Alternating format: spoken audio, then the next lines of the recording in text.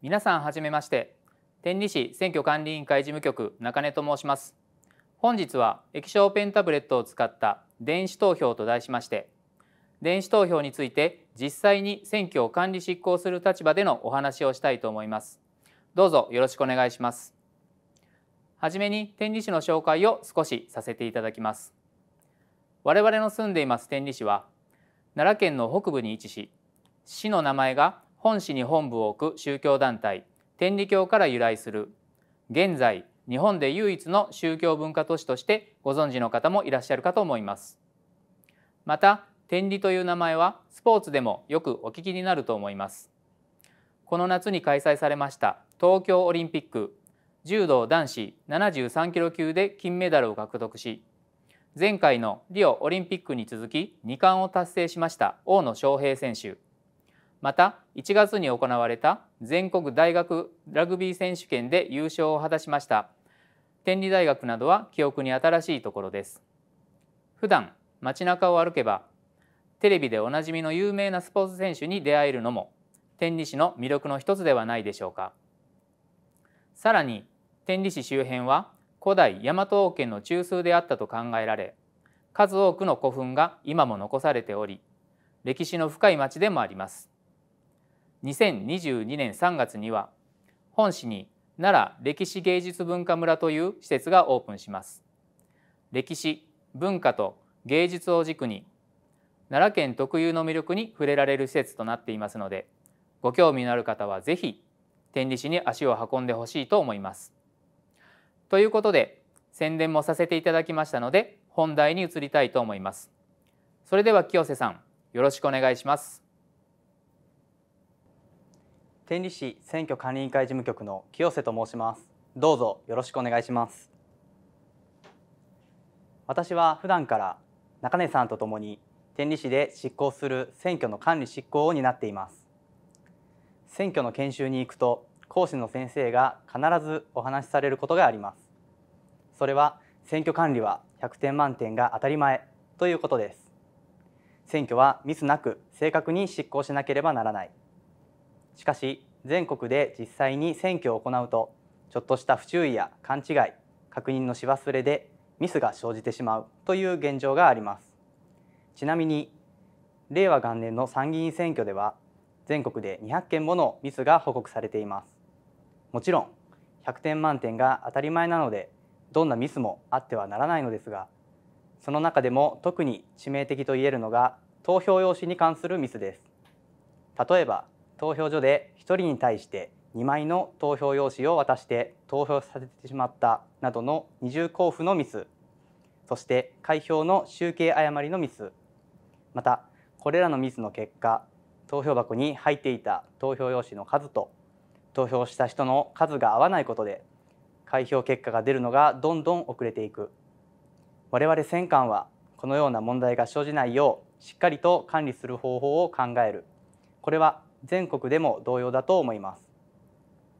さてそんな中2020年3月に電子投票に関して新たな動きがありました。電子投票システムに関する技術的条件が改定されたのです。電子投票制度自体はもともと2002年から開始され開票時間の短縮などの利点から全国10団体25回の選挙で導入されてきました。しかしながら現在は供給メーカーがなくなってしまい電子投票をしようにもできない状態となっています。というのもこれまでの電子投票は電子投票専用の機器のみ使用可能という制度でした。そのため機器を供給するメーカーはおおよそ選挙でしか使用できない専用機を開発する必要がありました。しかし機器トラブル等による信頼性の低下から普及が思うように進んでいかずメーカーは採算が取れずに撤退してしまったというわけです。そういった背景により今回の改定で一般販売されているタブレットなどこれを専用機に対して汎用機と呼びますがこの汎用機も活用できるようになりました。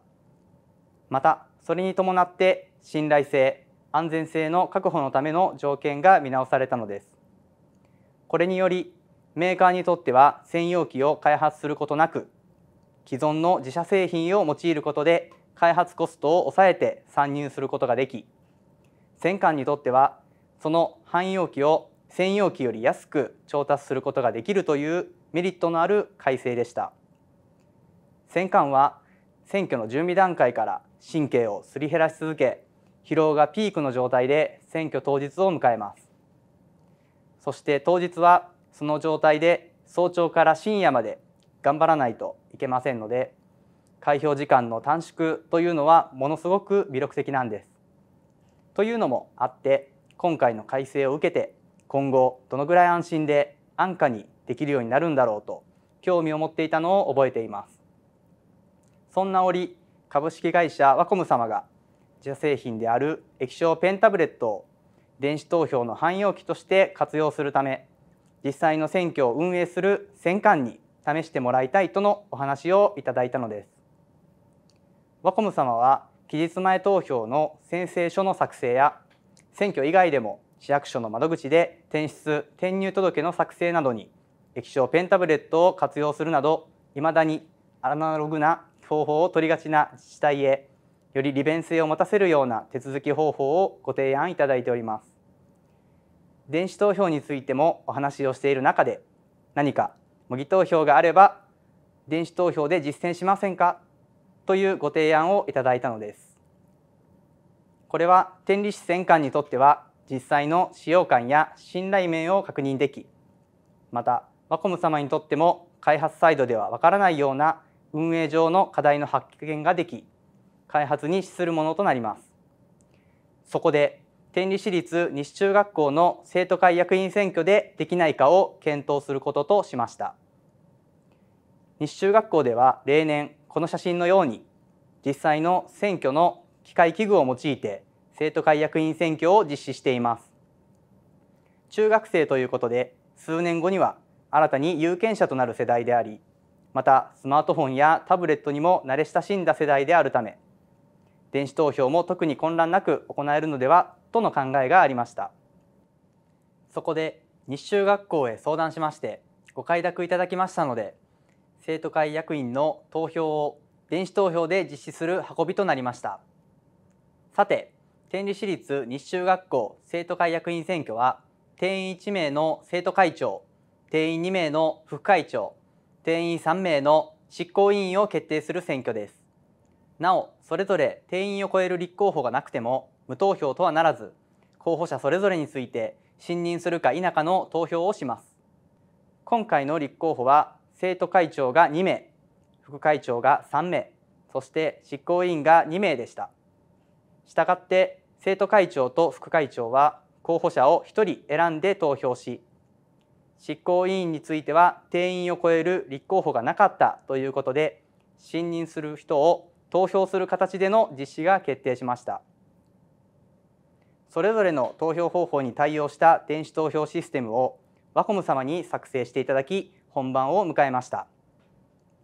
実際の流れはこうです。まず受付で一人一人にパスワードが書かれた紙を渡しますので投票する人は液晶ペンタブレットの前に進みパスワードを入力します。すると最初の投票今回は生徒会長の選挙であるという表示がされ約1秒ほどで画面が切り替わり投票したい候補者名を手書きする画面になります。ワコム太郎という候補に投票する場合はタッチペンで手書きエリアにワコム太郎と記入すると記入した文字が認識されて下部に表示されます。そして候補表示を押すと認識した文字により候補者が検索され表示されます。あとは投票したい候補をタップして選択し投票をタッチします。すると最終確認画面が表示されますので投票したい候補であることを確認して投票するをタッチすれば投票が完了します。省略しますが副会長選挙も同様の操作で投票します。副会長選挙の投票を完了した後は執行委員の投票画面に移ります。これはサンプル画像ですが信任する候補についてはタッチペンでタッチして選択し不信任の候補については選択しないままとします。このまま投票をタッチすると最終確認画面が表示され先ほど選択した信任する候補を確認し投票するをタッチして完了という流れです。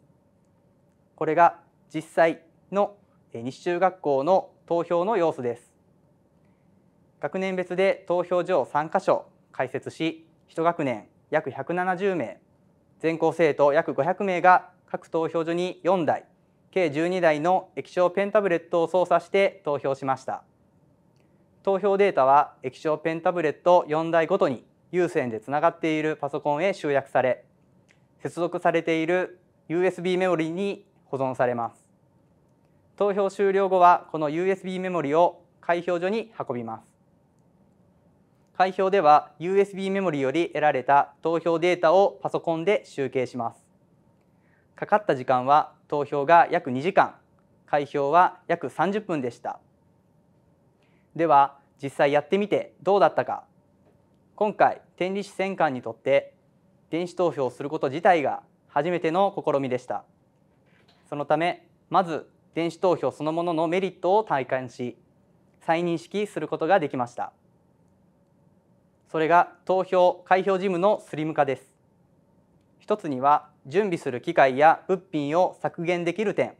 これも大きいですが合わせて特に開票所において人件費を削減できる点が非常に効果的だと感じました。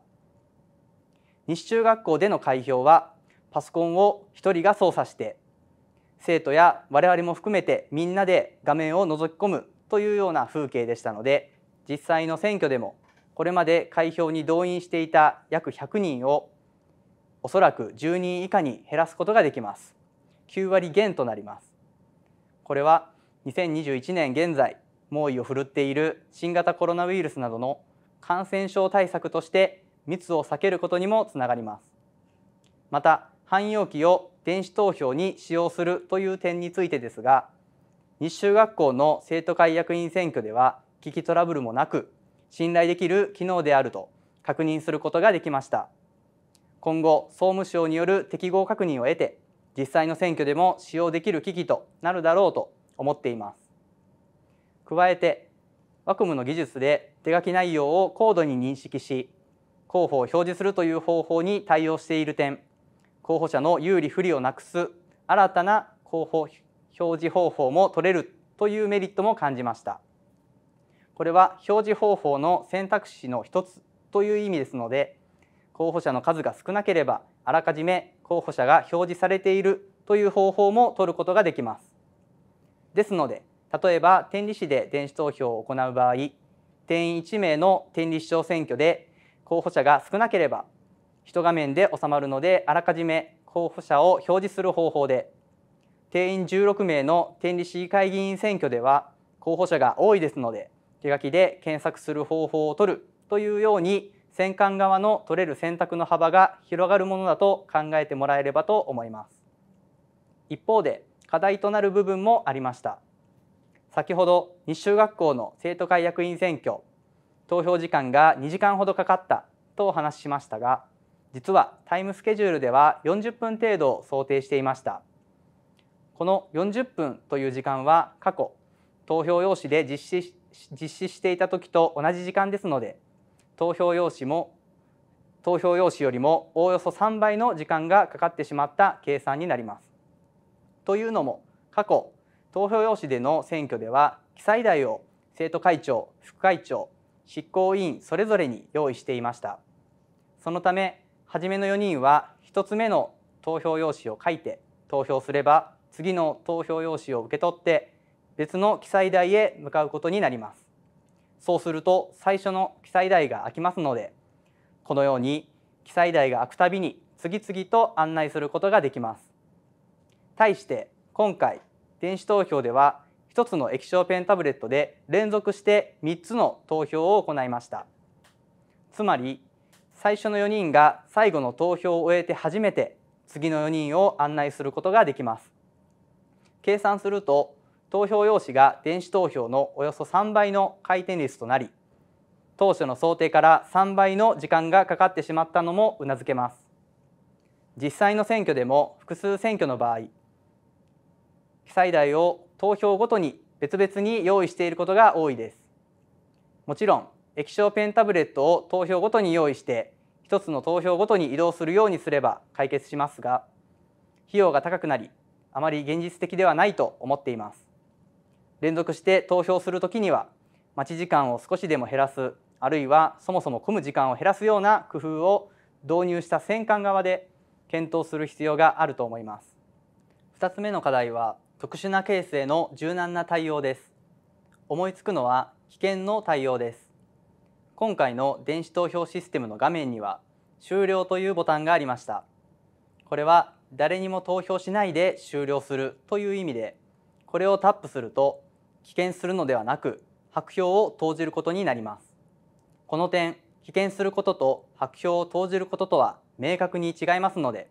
電子投票でもここはしっかりと区別する必要があります。白票は何も書いていない投票用紙を投票しますので投票したことになります。一方で棄権は投票をしませんのでこの場合後でまた投票所へ来てやっぱり投票するというのが可能です。特殊なケースではありますが投票所に行き投票用紙を受け取り記載台の前に立ったものの誰に投票するのかをもう一度よく考えたいということもあります。このような場合投票用紙であれば返却してもらえればその選挙を一度棄権させる対応ができます。その際誰が何の選挙を棄権されたかを即座に記録しておき再度来た時には棄権している投票のみ行うよう管理をするのです。この対応を今回のように複数選挙を1台で投票する場合の電子投票でもできるようなシステムであってほしいと思います。選挙では投票の権利を守るためレアで特殊なケースにも対応しなければなりません。電子投票でも柔軟な対応が求められるのではないでしょうか。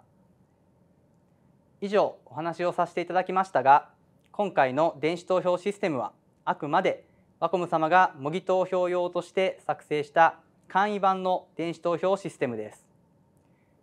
ワコム様が実際の選挙への導入を目指している汎用機はワコム製の液晶ペンタブレットをモニターとして別会社であるベンダーが開発した電子投票システムが表示されているという形となります。今ここで挙げた課題はあくまで西中学校での電子投票システムで感じたことですので実際のシステムを担うベンダー各社ではすでに検討されているものかもしれません。ですがもしこれが新たな課題の提起としてより良いシステムの開発に資するものとなれば幸いです。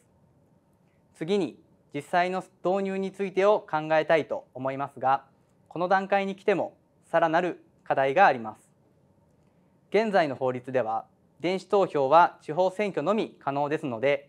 例えば我々が導入すれば奈良県知事や奈良県議会議員の天理市選挙区そして天理市長天理市議会議員などの選挙で導入することができます一方で衆議院や参議院の国政選挙では電子投票を行うことはできませんつまり電子投票を導入した選管は国政選挙の時は既存の選挙機器を使いますので機器を今まで通り点検し不具合や保守切れがあれば機器を新調するといったことを国政選挙のためにし続けなければなりません。購入費用は国政選挙の際であれば執行経費として9分の5を国が9分の4を自治体が負担します。これは選挙機器がその国政選挙一回きり使い捨てではなく地方選挙にも用いることができるからですが地方選挙で電子投票を行えばその選挙機器は使いませんがそれでも自治体は9分の4を負担しなければならない。この負担は自治体にとって重荷になってしまいます。また投票の仕方開票の仕方が2通りになれば住民や事務にあたる職員の混乱は避けられないということも懸念されます。事務ミスを減らすためには選挙を複雑化することなく電子投票を導入できる体制づくりも必要だと言えるでしょう。最後になりますがこれまで電子投票の導入が進まなかった背景には大きく3つの理由があります。まず第一に機器トラブルによる電子投票機の信頼性低下。次に高額な費用最後に国政選挙で導入できないという点です。今回技術的条件の改定そして汎用機の活用で信頼性が向上しかつ安価な電子投票の導入へ向け一歩進んでいるところです。これはワコム様をはじめとした開発サイドの尽力によるものです。個人的にはそれに加えて国政選挙でも電子投票ができるように国会で議論されることを期待しています。